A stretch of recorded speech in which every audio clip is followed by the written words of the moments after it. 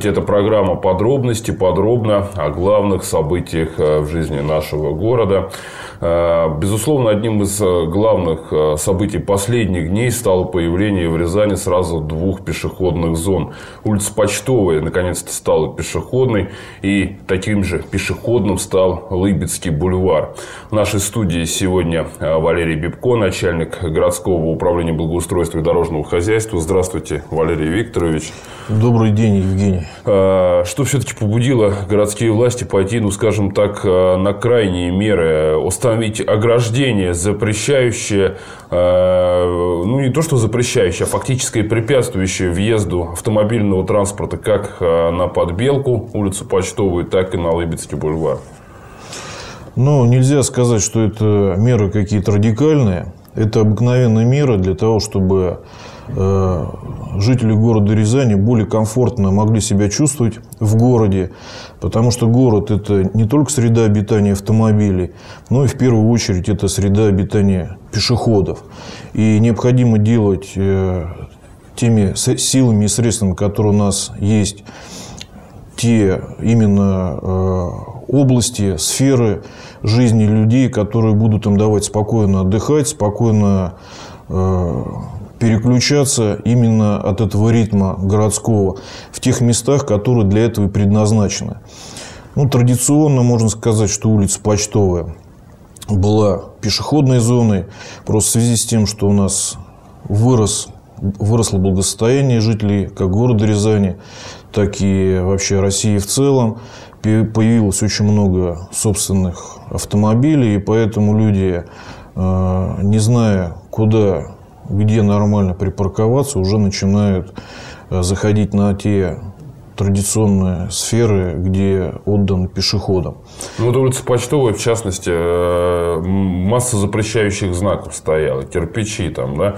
А, но, тем не менее, все равно автомобили проезжали туда и парковались на пешеходной зоне фактически, где движение автомобиля вообще, вообще исключено. Знаю, что пытались с этим бороться, не получалось, да? Мы пытались с этим бороться неоднократно и устанавливали более-менее такие эстетичные, эстетичные виды ограждений, как э, цветочные вазоны. Вот. Но э, людей было не остановить, не вазонами, ни препятствиями, ни знаками дорожными, которые предписывают у нас правила дорожного движения. Поэтому пришлось идти вот именно на такие меры, которые, может быть, с одной стороны непопулярные, но которые на самом деле эффективные получились.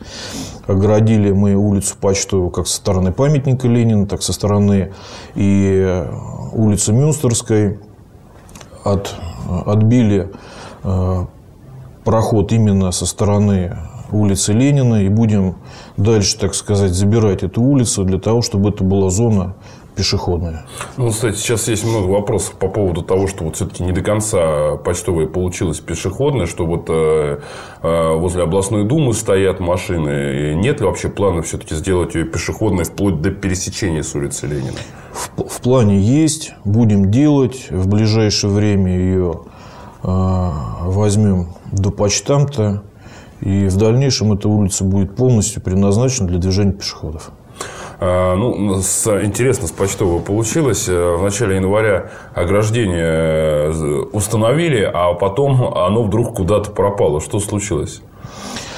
Ну, наверное, владельцы или пользователи, не буду э, говорить, наверное, каких-то, но, можно сказать, юридических лиц, там, предпринимателей, которые ведут свою деятельность, им стало неудобно в связи с тем, что машина не сможет подъехать непосредственно под место разгрузки. Вот, поэтому ну, нам так кажется, что это было именно собственники тех нежилых помещений, которые находятся на почтовой для того, чтобы подвозить э, свои товары для разгрузки. То есть спилили ограждение? Да, можно так сказать, что сняли там с одной стороны с основания, с другой стороны просто срезали ограждение.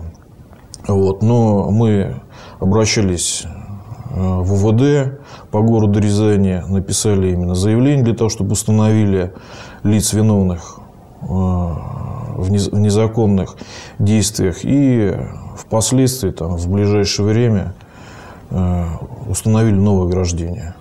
Олег ну вот а, если промониторить, скажем так, рязанский сегмент интернета, то ну, подавляющее большинство граждан а, позитивно воспринимает то, что а, улица Почтовая и улица Лыбецкий бульвар стали у нас по-настоящему пешеходные зоны. То есть, э, ну, наверное, 95 комментариев по этому поводу отличается, скажем так, э, поддержкой действий городских властей. Помимо Подбелки и помимо Лыбецкого бульвара, будет ли что-то еще делаться исключительно пешеходной вот такими методами, как ограждение, запрещающее проезд автомобильного транспорта? Да, мы будем делать, э, ну, по крайней мере, здесь в ближайшее время у нас отработать Лыбецкий бульвар до конца. Так у нас напрашивается э, именно та зона, которая у нас подходит и прилегает к цирку. Вот, мы знаем, что это традиционное тоже место отдыха горожан. И в ближайшее время мы тоже сделаем примем те меры, сделаем э, ограждения, которые будут предотвращать выезд легкового транспорта на зону, которая прилегает у нас к цирку. Также в планах э, еще у нас обустроить два участка в центре города. Но это мы пока планируем. Сейчас пока не будем открывать свои планы. Наверное, мало ли того, что надо превратить улицу в пешеходную зону, нужны еще какие-то вот условия для, скажем так, комфортного эстетического отдыха для пешеходов создать. Вот э, в этом направлении какая-то работа ведется? Мы планируем обустроить э, в дальнейшем велодорожки. У нас идут э, обсуждения с общественностью. Есть несколько общественных организаций, которые с нами постоянно общаются, с которыми мы э, разговариваем, смотрим. Э, были даже э, выезды у нас совместно по тем традиционным маршрутам, на которых, по которым любят передвигаться именно те люди, которые не видит свою жизнь без велосипеда, не представляет возможным. И у нас уже на сегодняшний день размещены торги вот, по проектированию этих велодорожек, которые будут проходить от э, лесопарка от нашего и э, по Лыбецкому бульвару переходить плавно в Центральный парк культуры и отдыха. Вот. Поэтому здесь но есть такие предложения, мы посмотрим, запроектируем с самого начала, что надо сделать этот проект, потому что на бум делать, думать, э, как это обустроить, не получается. Вот, поэтому двигаемся цивилизованными шагами, начинаем проектировать эти велодорожки.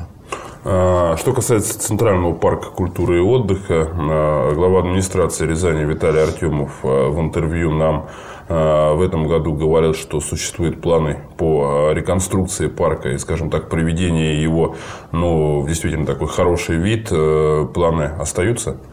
Да, планы у нас остаются. У нас э, в прошлом году была э, создана муниципальная программа благоустройства парков города.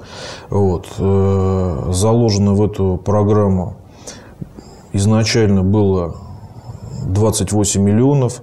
Сейчас пополнилась у нас эта статья, и в общей сумме получается 58 миллионов рублей, да, которая будет в том числе и на Центральный парк культуры и отдыха. Вот. У нас пока Центральный парк культуры и отдыха будет э, благоустройство первым этапом. Это будем делать, э, проводить освещение, которое там, в принципе, и так уже на достаточно хорошем уровне, но сети, которые там находятся в плохом состоянии, их надо будет в любом случае восстанавливать, менять, вот, э, восстанавливать, делать, строить новые пешеходные дорожки, обустраивать парк в плане выноса определенных коммуникаций, которые они там есть, и с одной стороны, там, если посмотреть со стороны улицы Братиславской несколько портит вид. Вот. И в этом году вот этот первый этап планируем осуществить полностью. Также у нас э, заключен договор на проектирование благоустройства Центрального парка после проектирования этого парка будут уже проводиться работы, именно как вот и по установке планируем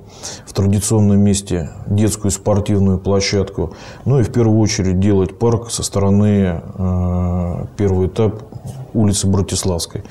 Потом в течение определенного времени обустроим весь парк. Благодарю вас, Валерий Викторович. Спасибо, что нашли время и приехали к нам в студию. Начальник э, городского управления благоустройства дорожного хозяйства Валерий Бибко был в программе «Подробности».